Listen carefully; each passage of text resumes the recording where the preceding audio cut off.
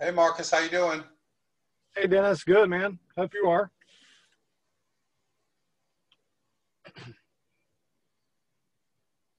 Can you hear me? Hello?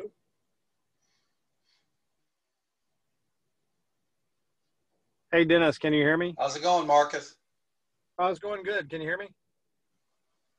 You can't hear me? okay.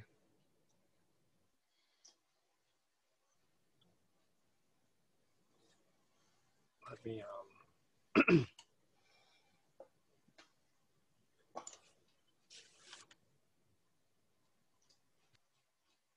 what about now? Can you hear me now? You can't hear me still? What in the world?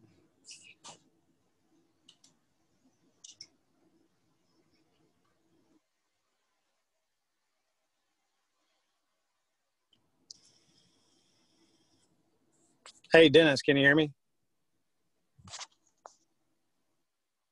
No.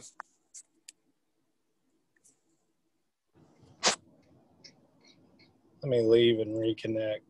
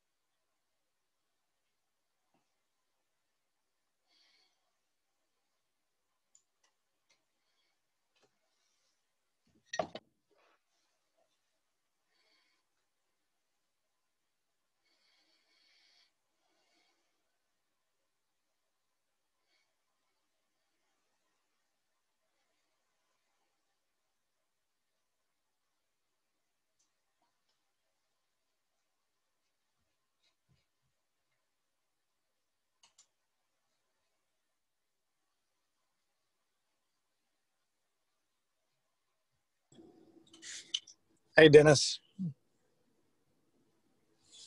I don't know why nobody can hear me. What's going on here?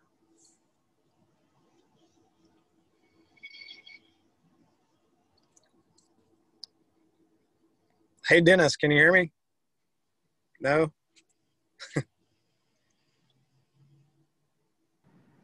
Well, I can hear you. Oh, okay. All right. So I can be heard. All right, cool. Yes, you can be heard. All right, nice.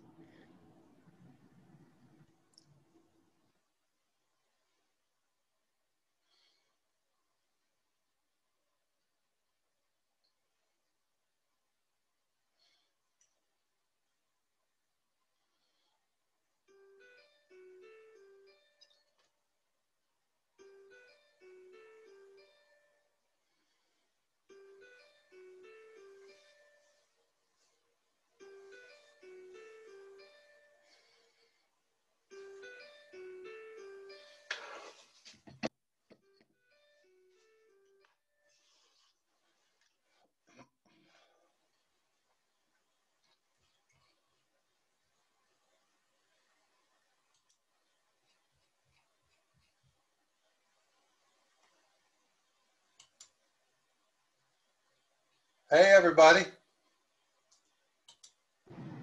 Hey, Hey, Dennis. Hey, happy Friday, guys. Everyone's doing well today. Um,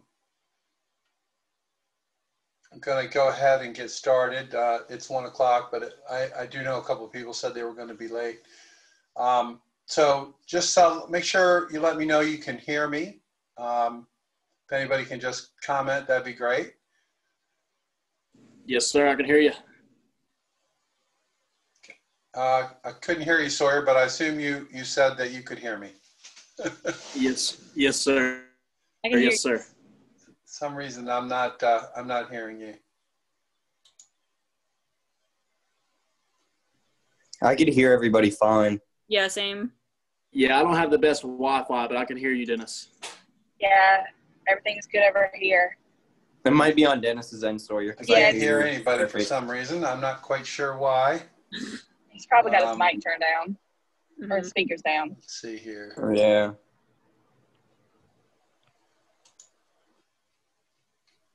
Let me um, check my audio settings. Sorry.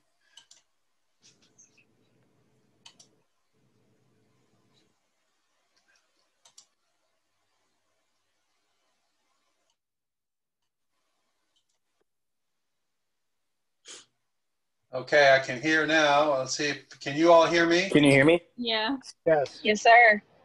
Okay, good. Sorry, I don't know what was going on. I, you know, I tested it. Well, I always tested before the session, and uh, for some reason, it was working fine, and and then it wasn't. So there you go.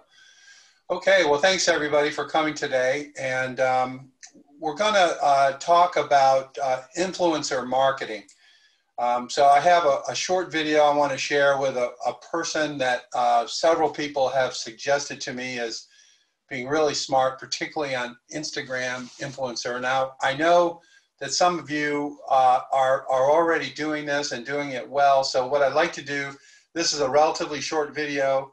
When the video's over, let's talk about uh, each of your experiences or any questions you might have.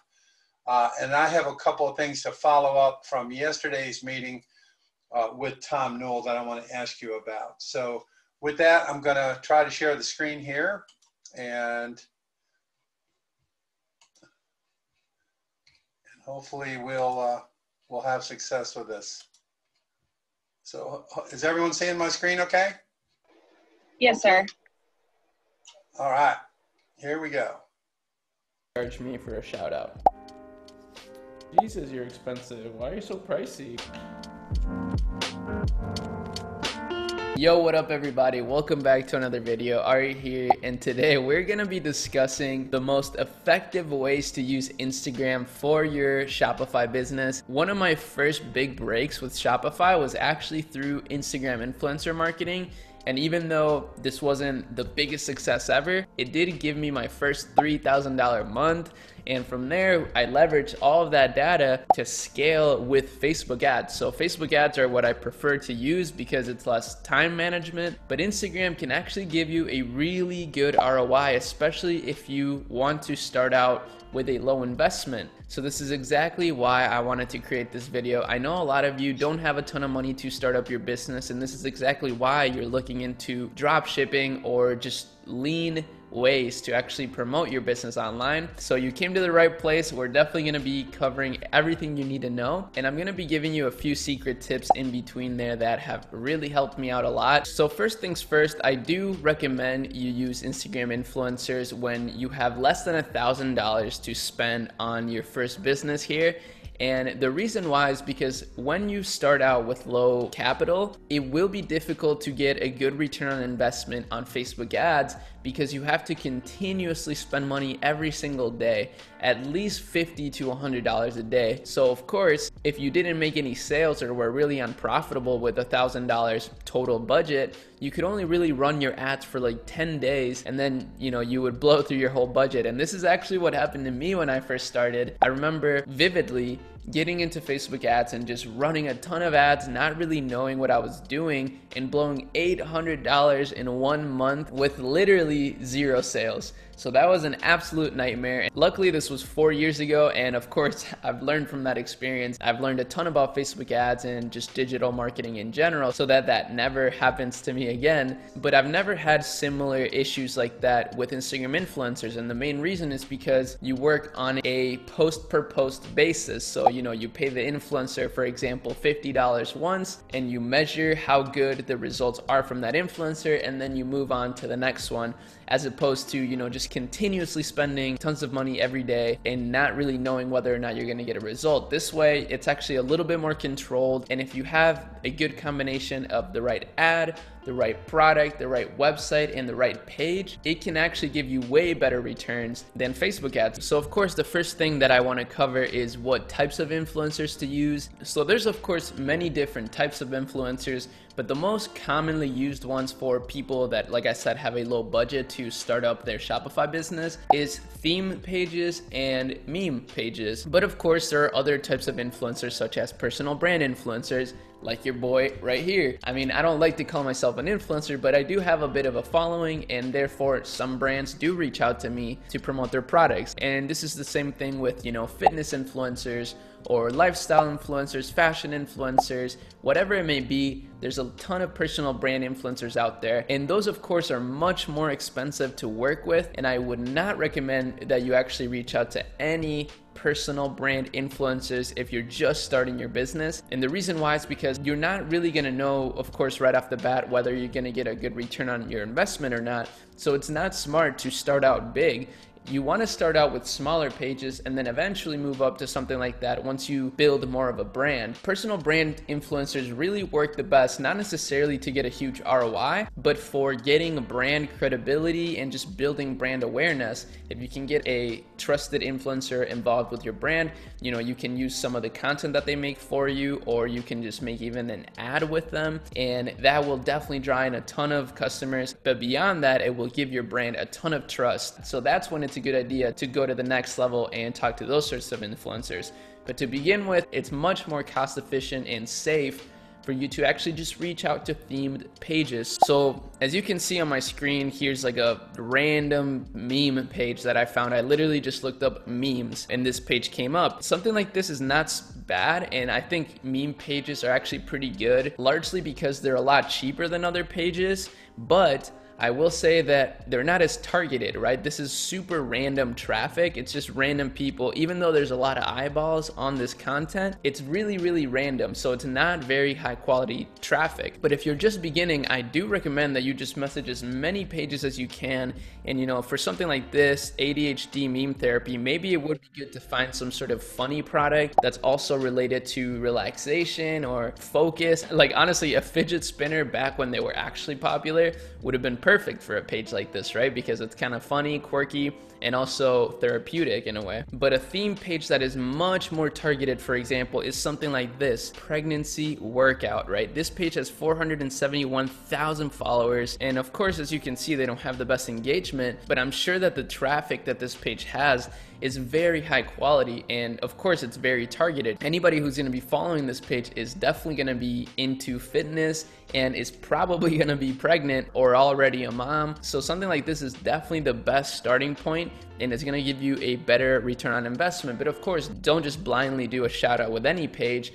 Make sure that you know you negotiate the best prices possible. Literally, as far as negotiation tactics, all you have to do is ask. So if they say a 24-hour post with a story shout out is going to be $80, say, okay, thanks for letting me know. Would you be willing to take $60 instead? Something along those lines. You really just have to ask and if you don't ask, you're actually probably missing out on some savings. So it definitely pays to ask. Just to make this example more clear, here's another page in that is very, very niche specific. So this is survival school. So of course, this is anything related to outdoor and survival products. So any sort of survival thing that you could possibly imagine, this page would fit in with perfectly. And they actually have pretty solid engagement. And I'm sure a page like this is only gonna cost you, you know, 10 to $20 or something.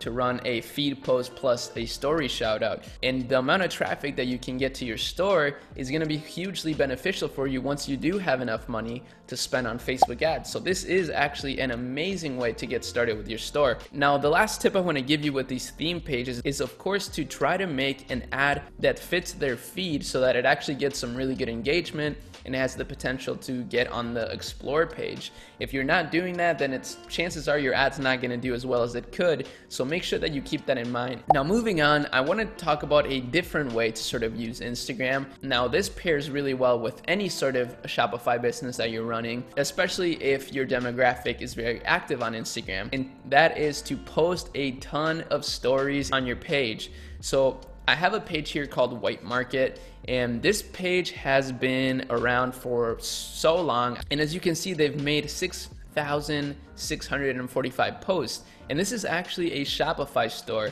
uh, a pretty cool Shopify store, if I may say so myself. I actually really like this store a lot because it's very well branded and you know they did change their name to Wi-Fi Gallery now, but that's pretty cool. Everything is so on brand and I'm sure that they're doing amazing. They used to get like 300,000 monthly visitors back in the day before they changed their name. And as you can see, if we look at their stories, every single day they promote their shop, like every single day. And as you can see, this is all the stuff they sell and they're just promoting every day. And all they really post is memes. They don't really post many of their products on their feed. And I'm not saying that that's actually the way to do it. I think you should definitely mix it up. But finding relevant content to your brand from just other sources and giving them credit is a good way to build a lot of momentum to your page and attract people to your page. And then you can post a ton of story promotions on your own page. And as long as they're really well branded, they will perform really well. And of course, what you can do with these stories is measure their metrics and then the ones that do the best you can actually run on Facebook ads. This is what I've been doing in order to test new creatives. Sometimes I'll just throw up a sequence of stories and see how well they perform. And if they do decently well, I'll test it with Facebook ads. And more often than not, they actually do perform very, very well. So I want to quickly show you how you can create a story ad now. Of course, it's very simple and some of the best story ads that I've had are filmed literally with my phone. And I honestly use Canva for basically everything nowadays. I'm not very well versed in Photoshop. I'm not that good with it. So every time I try to use it, it just takes me forever to get anything done. Whereas on Canva, I can usually find things pretty quickly, like a good template to use, and that really helps out. So I'll type in e-commerce here. So something super simple like this, let's say this is your product, would really work. So you could literally put your logo here and you know whatever ad copy you're running. So for example, this product right here on AliExpress, it ships from the US and it has just some amazing product images. I think these images are so nice and high quality. So what I'm gonna do is I'm gonna save this image and then I can simply upload the picture here on Canva, you know, make my own little template. Let's just get rid of all this stuff, honestly. We can just start from scratch here and we'll just make this full screen. And we can pick something here that,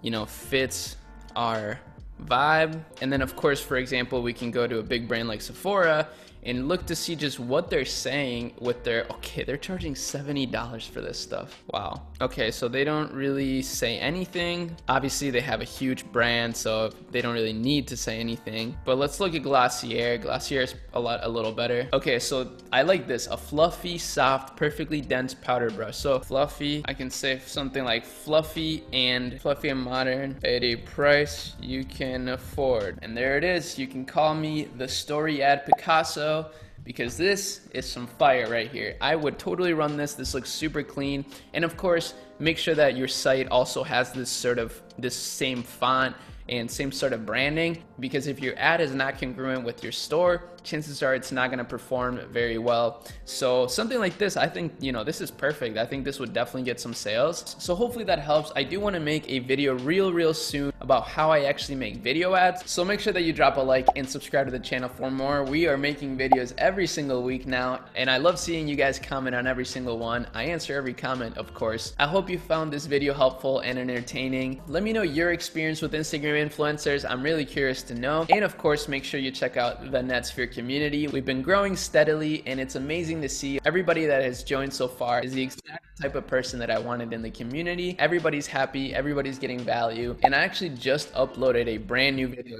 in the community of all the different types of stores. And I do use a demo store that I created for Netsphere specifically, where I use all the branding strategies that I've learned in order to give a really good example. And as you can see, the members really love this stuff. So make sure that you check it out if you haven't already. And with all that being said, I really hope you enjoyed this video and I'll be seeing you in my next one. Peace. What's up, guys? Anton here from dropshiplifestyle.com. And in this video, I want to talk to you. Okay, well, there you go. Any uh, any comments or reactions to this uh, fast and furious little uh, little demo by this guy? You, you may have heard of him before. I, I've had several people suggest to me that he does a good job of explaining. Um, I thought he did. So, uh, Ashley, what do you think? I really, really enjoyed the whole video. Like I, I've personally worked with a lot of influencers and that's how I've grown my business throughout the past couple years, just making connections with really big Instagram pages. And I would send them like a free product. I mean, cause my jewelry, I sell it pretty high, but it, the cost of me to make it is not that high. So in the end, it doesn't cost me a lot to work with these influencers. So I'll send them a free piece or two and then they'll promote it on their page. And sometimes they'll share a discount code or whatever to refer people back to my website or back to my Instagram and stuff like that. And so that's how I've been able to grow it fairly inexpensively. And I found that those kind of things I feel like is a lot more organic than working with ads through Facebook and Instagram. Like I've never had really any luck with those and maybe it is because I just don't really know how to run those as well. But it's been a lot easier for me to find influencers that really kind of have the same vibe as my brand and my pieces and since i make such a variety there's always something that they're able to find and they really like and they're able to promote it and there's always been some influencers that aren't as great as others but i found that they really are super helpful and a lot of the people that buy stuff from me through them end up becoming repeat customers because they want to have sort of the lifestyle of that influencer and that has just overall helped me grow the most i think yeah, if you uh, if you don't mind sharing, like um, how how many influencers do you work with it, say on a monthly basis or whatever the measure that you use? Uh, as far as like actual influencers, really big accounts, I have been kind of slacking on finding new ones. I have like two or three, well, two that I work with on a more regular basis, or three. One of them, she's I think uh, Steffi Lee. I don't know. She's a bigger YouTube person or whatever from California, and I've sent her some pieces and she'll promote them. Um, then there's another one. I think she's in Washington. I work with her. It just depends. Like sometimes I'll send them a piece in exchange for like a one post or something like that with a small review. But sometimes, you know, they'll wear the pieces other times and they'll still tag me in it. And so that's been helpful. But I guess on a monthly basis, maybe one or so. I guess if you count as far as like those kind of influencers, maybe not even that because I haven't really been as active doing that like I should. But I have worked with other, I guess maybe you could say influencers in a way where like I'll work with really large accounts of other artists and I'll send them pieces and we'll kind of collaborate on a small collection. And that has helped me grow my sales as well, even though it's not like I'm sending them something to promote, it's still promoting both of our work.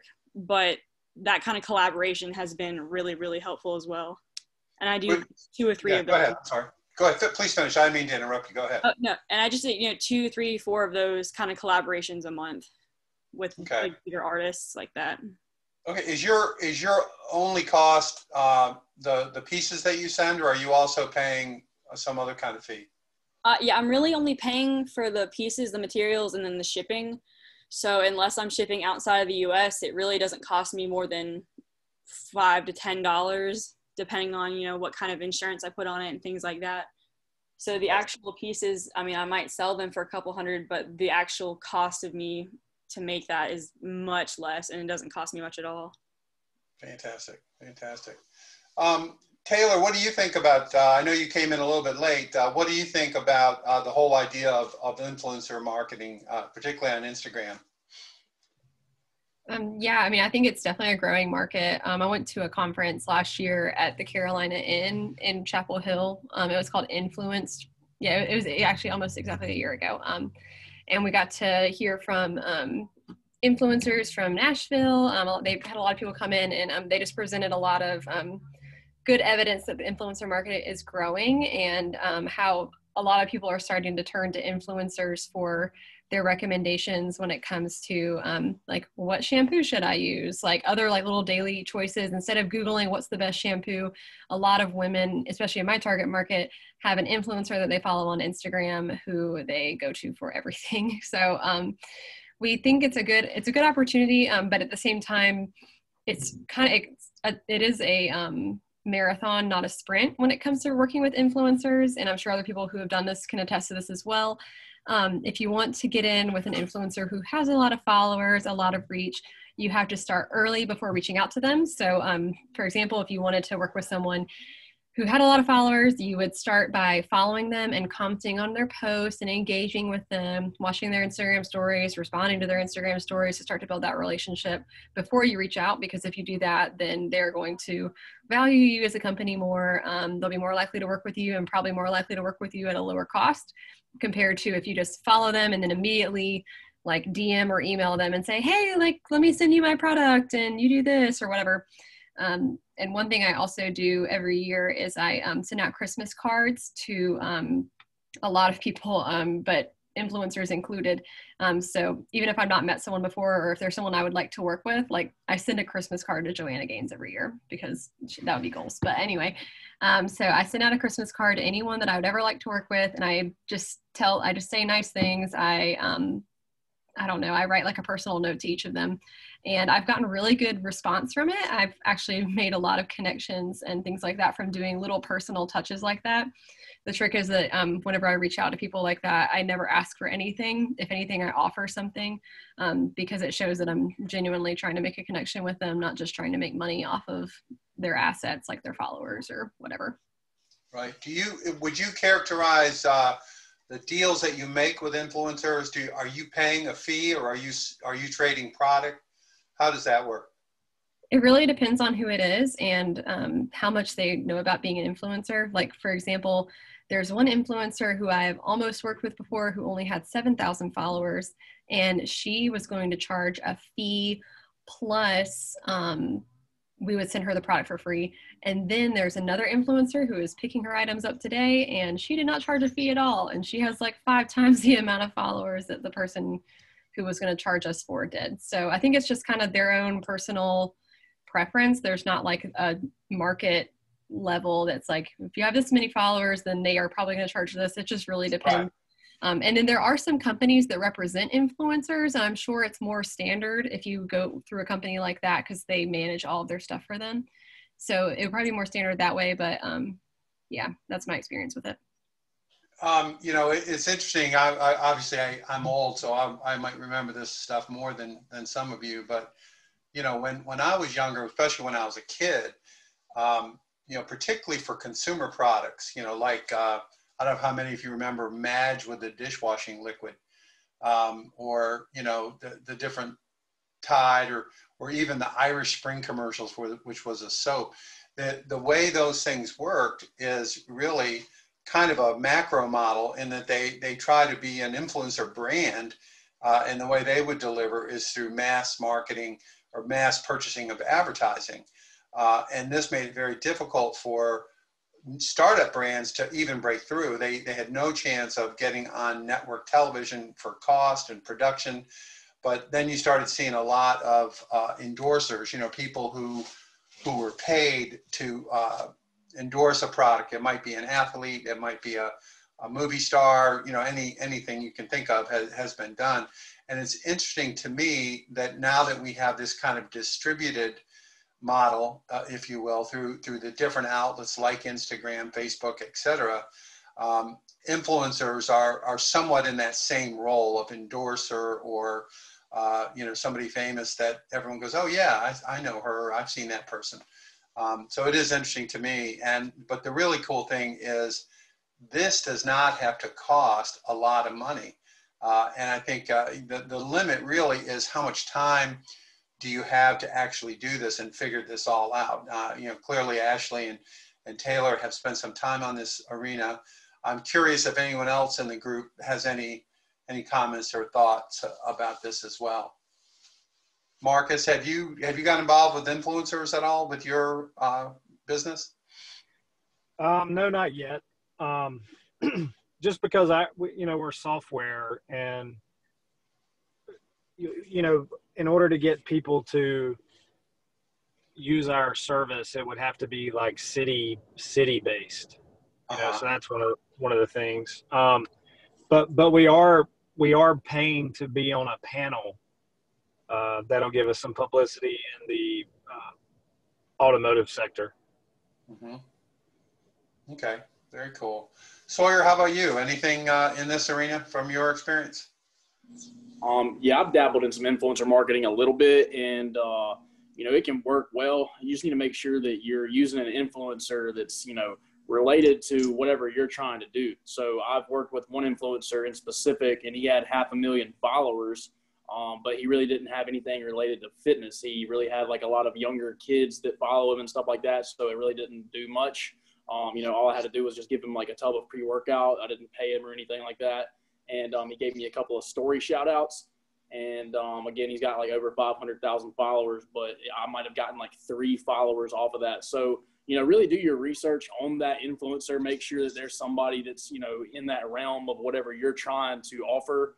Um, because if it's a lot of people that are, you know, just into video games and then they're posting about a supplement product that has nothing to do with video games, then they're probably not going to be interested in what that influencer's offering. Yeah, yeah. I could just sort of step in and add something else to that. Like as far as the follower count goes on certain accounts, like you mm-hmm. can look at a certain account and they may have 50 to 200,000 followers and they if you look at their posts, they don't get a lot of engagement. And those influencers are more or less like I feel like they buy their followers or something. There's just they're not going to really be helpful. There's other websites now that you can like put in their username or whatever it is. I don't remember what they're called, and it'll kind of show you their percent of engagement. And I think that really helps you find out if that influencer is worth working with or not. Because I've in the past made mistakes of like you know sending a product to somebody who had like hundred thousand followers, and like Sawyer was saying, like I only got a couple followers from them and it was kind of a waste of my time and product. And i think when you reach out to these influencers if you're planning on trading a product or something you really need to be specific on what you're expecting them to do. Like somebody i know she sent off products to somebody and didn't i guess wasn't specific and they posted a crappy quality photo on their page and it just didn't do well at all. So you really need to be specific when you reach out to these people as well. You know tell them hey i want this story share and i want this and i want a really good photo or i want you to wear the piece you just have to be specific with it as well. Absolutely. And then I had another guy who um, he's a buddy of mine. We grew up. He actually plays on the Oakland Raiders. And um, then he gave me a shout out, and he's got like 50,000 followers, and I got like 30 followers off of that. So it was just more in the realm of fitness. You know, he's a football player and stuff like that. Um, you know, people are probably following him who actually do work out and stuff like that. So, um, and the, the person with the influencer with the 500,000 followers, his followers are all real and stuff. He's just a part of the Mr. Beast crew. So it's like a lot of younger children and stuff, I would say. So you just got to really make sure that you, um, and that is a great point. You can look up to see, you know, what kind of engagement somebody's getting. Um, and make sure their followers are real. You can typically view a video and see how many views that video is getting. And if it doesn't really correlate to how many views they're getting for how many followers they have, it's not hard to tell who has fake followers and stuff like that. Yeah, and you want their audience to be the same kind of audience you're looking for too. Yes, Yeah. ma'am. And Yeah, and I, yeah. yeah. So that tool is called an audit. So you could just look up like a Twitter audit, Instagram audit, whatever. Um, and then typically, you know, they're all free, just like a web page. You type in the username, and then it'll like give you a report back, and it'll say, you know, they estimate, you know, 74% of the followers are real or something like that. And typically, a lot of them are colored too. So you know, it'll be like green if that's good quality, because even though it sounds like you know only 74% are real, you know, if they're larger, you know, say they have 500,000, you know, that's actually really good um, because most of the accounts, like, it's not that they're not real, but they might just be inactive or dead accounts or something like that. Um, but yeah, it, it, I mean, engagement's huge. So I've done influencing um, with my own personal, you know, business brand back when I had like 30,000 followers. Um, you know, and it, and it really just depends. I've done business development as well for a um, uh, kind of like a uh, meme uh, type of channel across Instagram. They had like six different accounts with like over 8 million total followers. And, you know, I, I did a lot of reaching out to uh, influencers to sell them shout outs and things like that. Um, and it, it all just varies. I mean, like the video said, and, and a lot of people touched on, I mean, it really just depends on the person because, you know, with my page, I would have people reach out like, Hey, if I send you this apparel, like, like, you know, will you promote it? Things like that. And I'm like, yeah, sure. Then I'll also have some other people that will reach out and be like, you know, hey, if I send you this product, will you promote it? I'm just like, eh, not really. Like, you know, it has absolutely nothing to do with my audience. And for me as an influencer, like, you know, I value my posts. My posts are my, you know, value proposition. So, you know, if I'm always posting stuff that's unrelated to my audience, you know, that's bad for me. So typically those are normally the deals where influencers will charge as well. Um, but yeah, I mean, it's all just dependent on the users and, you know, just the whole scenario. I had two things I wanted to add really quick. Um, Take your time. Yeah, thinking about um, like I heard a lot a lot of people talking about like how many followers you how many followers you get from an influencer sharing about you, which is a good metric. But um, for me, the best metric that I look at is how many um, orders actually came as a result, and that can be hard to track sometimes. But one thing that you can do when you're working with an influencer is to give them a coupon code. It doesn't need to be something that they um, like profit off of or make a commission off of, but something where it's just like their name with the number 10 after it or something. And then you know if anyone who uses that coupon code on your website or whatever came from that influencer, um, that can let me, that lets me know when I work with someone if I want to work with them again. Because um, obviously it is an investment to work with an influencer. And, um, you know, that you could possibly get sales or follows or whatever, and then them not use the coupon code. Um, but it, most of the time a follower well, like why wouldn't you use a coupon code? So um if you see it but anyway that's one thing that you can do. And another thing when it comes to um thinking about influencers and um things like that sorry i lost my train of thought. But anyway um, just thinking about like how can you how can you measure your return on investment whether that's using a coupon code or um, increasing your email list? Like that's another thing that like adds direct value where followers like yes, it's good to have more followers, but if, how many of those followers are actually like paying customers is what I'm trying to get at. Yeah, I, I definitely agree with what Taylor just said. Um, one common practice in the industry too is um, a lot of influencers will they're fine with promoting stuff uh, for free, especially if you're sending them a product. But a lot of them, um, you could they'll likely charge you for this um, a little bit, but you could send them a link for a swipe up, like on stories and things like that. Um, and if they do a swipe up, most of them do charge, I've found, or at least in the areas that I've dabbled in with influencers. Um, but that's really nice because you could create like a custom like subdomain or some something within your your website and use that specifically for influencers. So if you send it to them to post on their story as a swipe up link, the only people that have that link are people that are you know getting sent there by influencers. So that's a really good way to measure um, kind of the value that they add because in my opinion uh, for majority of influencers i think it's best to look at them as kind of just lead generators not necessarily the salespeople. Um, because you know you might get an influencer that you know you give them a coupon code and only one person buys it it doesn't seem successful but if you send them the subdomain and they use that, you could see, okay, 450 people clicked on this link. And out of those 450 people, you know, I could see exactly what other pages they browsed or, you know, I could see what products they viewed, things like that. So, you know, the influencer is doing a better job than what you think they are. So maybe that's just time for you, you know, that might be telling you, you know, something's up with your website. Maybe you might want to change something because you're getting the traffic to your website they're obviously interested if they're clicking around and looking at multiple things. So how do you how do you secure that sale from there? Okay. No, Ashley, were you going to say something? Or, or Taylor, whoever? Um, I just remembered it. Um, another thing you should do when you work with an influencer, if they have a blog, have them backlink to your website um, I know Ashley was talking about being really specific with what you're asking for. Um, I always send out a contract that says exactly what I want when I want it and have them sign it and send it back to me. And I always make sure that if they have a website that they write a blog post or something about the product that they received um, using a specific keyword and then backlink to my website. Um, this really only works well if they have a high score on Google.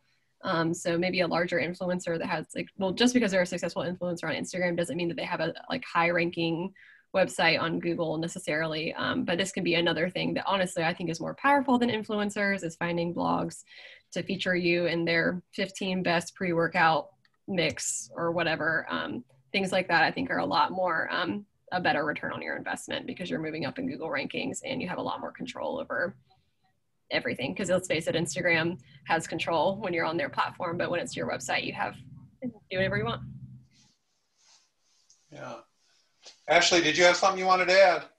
Uh, no, I think Taylor pretty much covered everything else that I would have thought about as far as like using discount codes and how followers don't necessarily generate sales. I think all that's definitely important because a lot of people that I know they focus too much on the followers, and I'm just like, you know, they'll have a big follower account, but I'm like, if it doesn't generate sales, it's not really worth it. Yeah. Hey, Well, I I'll, think- I'll uh, mention I'll, I'll mention something. I'll mention something real quick that that's kind of helping us. That's not influencer marketing. So our client base lives on LinkedIn. That's where they're at 99% of the time. So, you know, for me personally, to sit there and try to reach out to each individual LinkedIn person uh, by job title could be very time consuming. So, I found this platform called Cleverly. That's C L E V E R L Y, Cleverly. And it does an automated LinkedIn drip campaign for you. So it, you know, it's just like email sequencing, but it's for LinkedIn and it finds your prospects on LinkedIn. Now, this is probably more so along the lines for service based type businesses uh, versus product product based businesses. But that seems to be working pretty pretty well for us, getting us uh, presentations set up so that we can sell sell more customers and it does it automatically and it's only about 200 bucks 200 300 bucks a month uh, for us but for us i mean it may sound like a lot of money but for us if we sell one or two or three customers uh, every two months from that it was well worth it because it helps us grow our monthly recurring revenue and hopefully ARR as well Okay. And when you say AR, you talk about annually renewing? Yeah. Okay. Okay. Well, this this is a good conversation, and uh, if any of you have specific leads, like uh, Marcus just mentioned cleverly, go ahead and put them in the Slack channel uh, if you can, and uh, folks can can benefit from it. Um, one of the things in this uh, video that we watched that, that he mentioned was that he uses this influencer marketing, Instagram, as a precursor to what he might do on Facebook. Um, with, and he sounded like Facebook ads is where he put most of his time and attention. Um, anybody have any comments on that? I haven't heard too much about Facebook ads from this group. Anyone have any thoughts or experiences they want to share?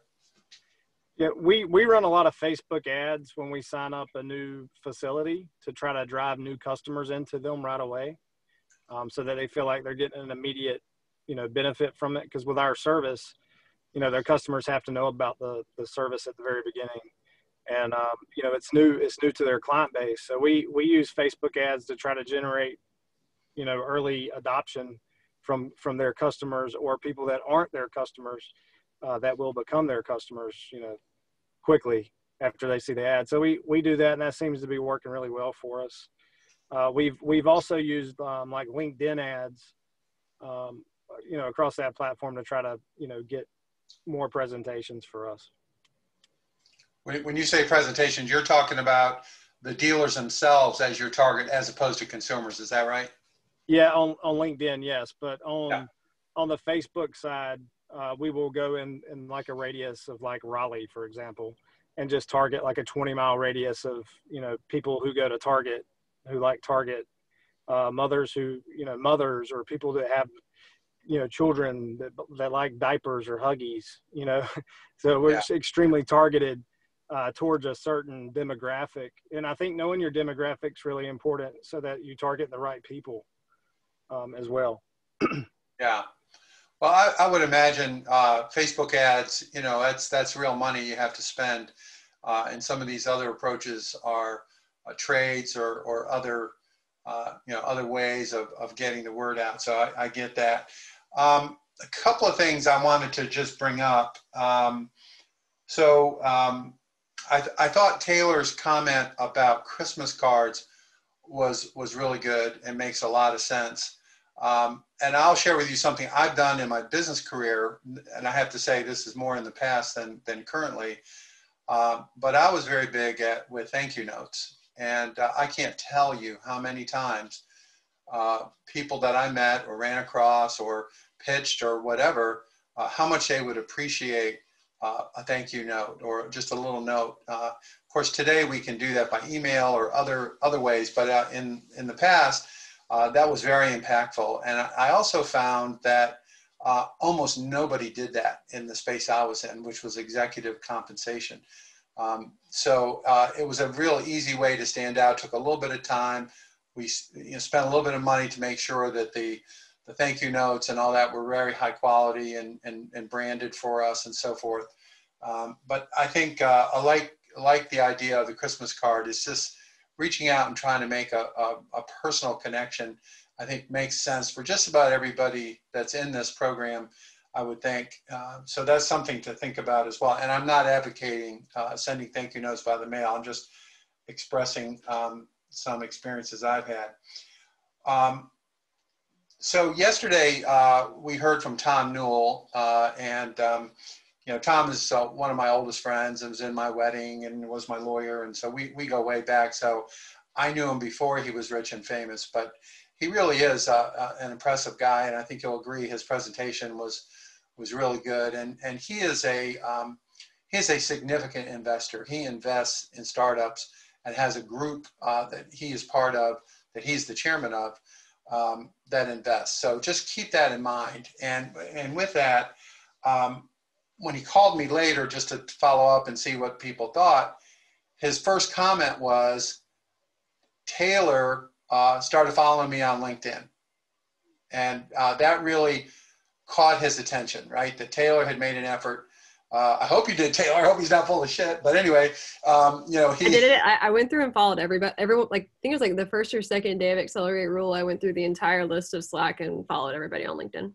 F- fantastic. Uh, good. Well, I, the only point I'm making is that uh, that really stood out. So I, I would encourage all of you. That is a really easy thing to do, even if you don't use LinkedIn that much.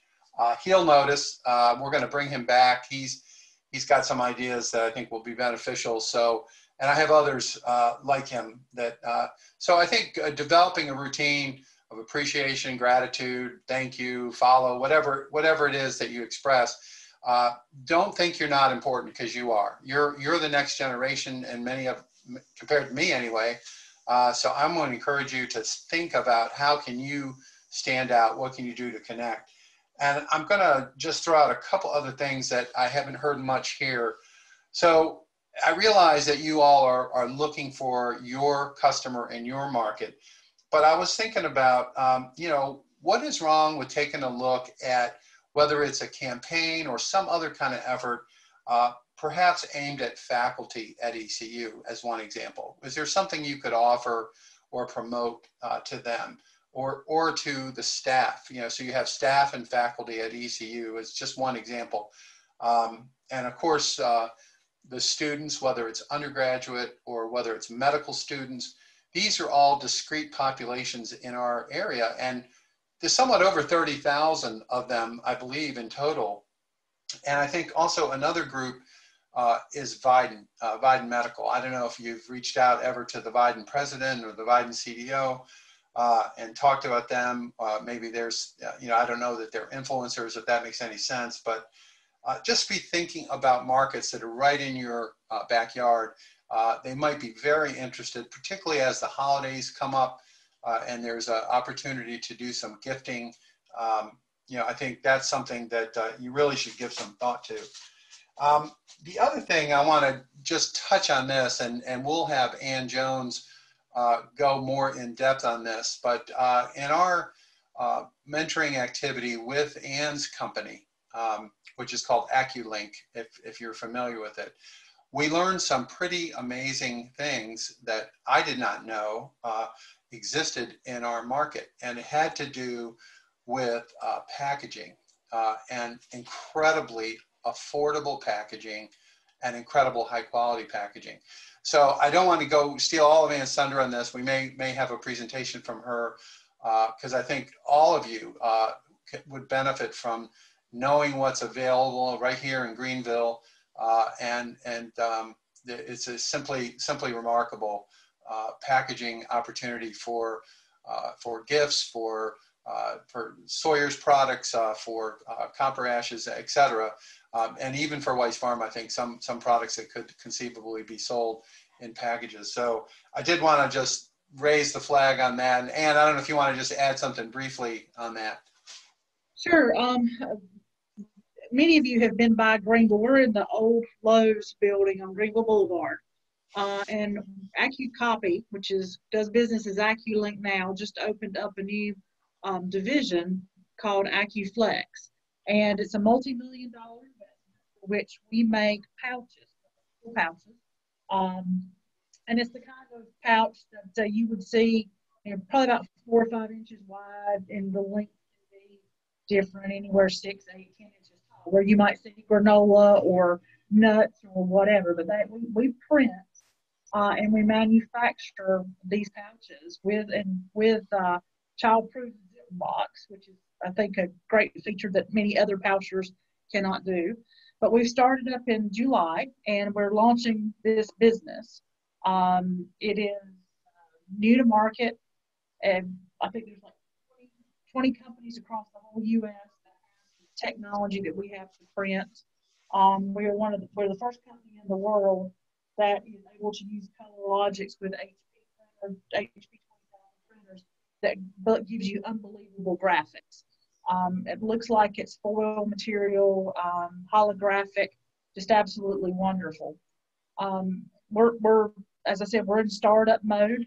Um, we would be interested to talk to anybody that has use for that our product, uh, or if you have any leads, help us grow further, we'd appreciate it. But um, when this whole COVID thing is is over, or we're to a point where everybody can travel, we do welcome visitors. Uh, I'm also in a position where we can send you out how to have interest in it. But it's a really, really neat, um, neat business. A lot of opportunity for us and for the area. Uh, and, and you also, the other products that we make, um, you'd be quite surprised what occurs here in, in this little building in Greenville. Um, we make, uh, we because you all were talking about thank you notes and cards and different things like that. We do custom printing as well uh, for many of the major U.S. suppliers on e-commerce, as well as sublimation, which is personalization of uh, mugs, cups, uh, just about anything you can think of that you would buy personalized. Very similar to Taylor's work, but uh, uh, done in a different way. So uh, we'd be interested to talk to anybody that wants to know more about the packaging business or what else we do. Thank you. Thank you, Ann. Appreciate it. So sure. um, one of the things that, um, that I found really fascinating was their ability to serve uh, startup brands in uh, consumer packaged goods. Uh, because of the way their technology works, it's actually very, very affordable uh, and also the ability to do sample size uh, product runs where you could uh, offer your products in a sample size but in an incredibly high quality package and and the other thing is their their uh, their product is compostable uh, and there is no other out there that I'm aware of a consumer product good where the package itself is compostable so a lot, lot of good stuff there that uh, we'll we'll get into more depth but I did want to just not touch on that so you all were aware of that. So the idea of figuring out ways to reach um, some folks here in, in this market, um, you know, with, uh, with ECU, with uh, uh, you know, there are other large companies in the area. Uh, I think Taylor may be uh, have her eyes set on corporate gifting, but but in general, I think uh, there are ways to reach uh, these markets as well. So just kind of keep that in mind as you as you think about your holiday holiday marking marketing. Uh, Dennis, I did turn the video on. Um, if you look, that there's the pouches that we do. They open. Um, some of the printing in the picture isn't great, but the ability to do this printing, as I said, first in the world, and the lighting poor, but there is holographic appearance on this on these okay. packages. Great, thank you. So we'll we'll take some more time on that, Ann, and you can you can get uh, some more examples uh, for the group. And I encourage everybody, you know, to to reach out to each other if you see benefit uh, that you can gain from from someone in the class, or if there's someone that you would like to reach in the area. I have pretty good uh, connections and contacts, uh, you know, all over the state. So uh, that's something that we can do. Um, that's about all I have for today. I don't know if if anybody has any questions or additional comments they'd like to make before we adjourn for the weekend. Um, so I have a couple of questions for Ann. Um, so I've actually came by AccuLink, and my day job is I sell uh, copiers and production equipment and stuff of the sort. So I was going to see who do you guys get your uh, equipment from. So I've actually spoke with Art Morrison a couple times, um, just in regards to the topic. Sure. Um, well, uh, let me give you my number and give you a call. Um, you can call me. It's 252 714 1434. All righty. Thank you very much. Sure. Any, anything else uh, anybody has on their mind? Or just so you know, over my shoulder, that's my two horses. The brown one is Spooky. The white one is Emmy. They are brother and sister. They're 10 years old. Uh, and we got them from a rescue in Tennessee. And uh, they basically eat grass and, and wait to be fed. Uh, you know, so they, they got a pretty good life. That's uh, so I wanted to introduce you to them uh, in case you didn't know. Okay. Anybody else? Very, Any, very cool. Beautiful horses, Dennis.